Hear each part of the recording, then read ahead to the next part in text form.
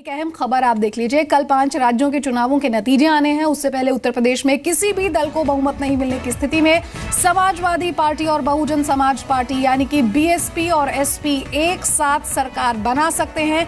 Samajwadi party नेता नरेश अग्रवाल ने गठबंधन के संकेत यहाँ पर दे दिए हैं और उन्होंने कहा कि राजनीति में कुछ भी असंभव नहीं है। इससे पहले अखिलेश यादव ने भी अपने एक इंटरव्यू में ये कहा था कि अगर ज़रूरत पड़ी तो वो बीएसपी से हाथ मिलाने के लिए तैयार है। हालाँकि बीएसपी ने भी अब यहाँ पर साफ़ कर दिया है। संकेत उन्होंने भी यहाँ पर दे दिए हैं कि अगर ज़रूरत पड़ी तो वो समाजवादी पार्टी के साथ आ सकते हैं।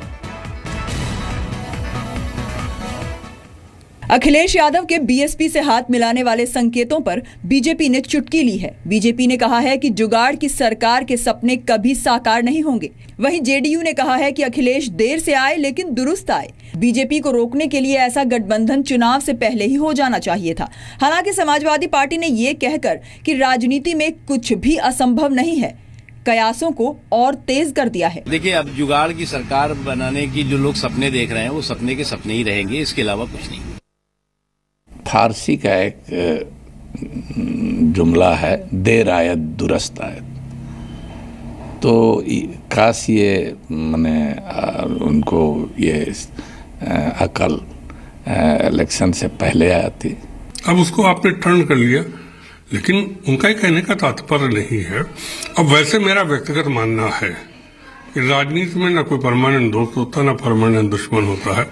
और राजनीति की डिक्शनरी में असंभव शब्द का स्थान नहीं। हाँ बीजेपी देश में मुस्कान ला रही है। स्वाभाविक रूप से उत्तर प्रदेश में मुस्कान आएगी। हम लोग चुनाव कैंपेन के साथ बहुत नज़दीक से जुड़े रहे हैं और विश्वास के साथ कह सकते हैं कि भारतीय जनता पार्टी उत्तर प्रदेश में भी उत्तराखंड में पूर्ण बहुमत की सरकार बनाएगी। अखिलेश यादव ने कहा था कि कोई नहीं चाहेगा कि यूपी में राष्ट्रपति शासन लगे। अखिलेश यादव ने कहा कि हम नहीं चाहते कि बीजेपी रिमोट कंट्रोल से यूपी का शासन चलाए।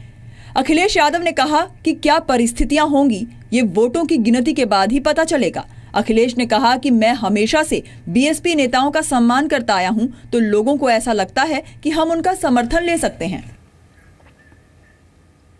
सीधे न्यूज़ रूम आपको दीपक उपाध्याय के पास यहाँ पर लिए चलते हैं। दीपक, साफ़ है कि राजनीति में कौन किसका दोस्त कब बन जाए, ये पता ही नहीं चलता है। एग्जिट पोल ने जो कुछ भी कहा, उत्तर प्रदेश में समाजवादी पार्टी बीएसपी और बीजेपी को लेकर उससे साफ़ हो गया कि अब कब बुआ का साथ पकड़ लें अखिलेश। देखिए, भतीजा तो चाह रहा है कि बुआ का साथ था, वो पकड़ ले, लेकिन बुआ जो है वो इसको लेकर थोड़े ही संशय में है क्योंकि जो आ, पुरानी जो यादें हैं वो बहुत कड़वी हैं दोनों के बीच में और इसी वजह से बुआ इसको नकार रही है। लेकिन चूँकि यूपी का जो चुनाव है वो आ, तीन तरफा चुनाव है और काफ़ी क्लोज कॉन्टेस्ट है तीनों पार्टियाँ लगभग नेक टू नेक हैं और एक या दो परसेंट का जो स्विंग है वो किसी भी पार्टी को सत्ता में ला भी सकता है और सत्ता से बाहर भी कर सकता है।